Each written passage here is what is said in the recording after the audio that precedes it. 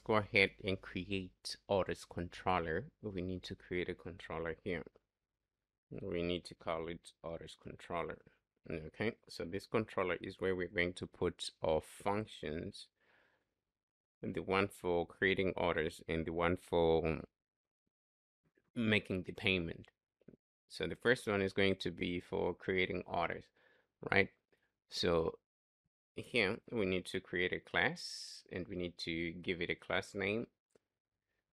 Uh, let's just call it class over here. Class name is going to be orders controller like that. Okay. And it's going to extend mm, getX controller like that. So we do have our controller. The next thing that we need to do, we need to create a request, right?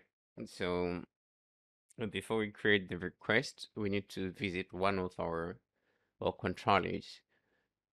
So let's see which one has headers or which one has a post request.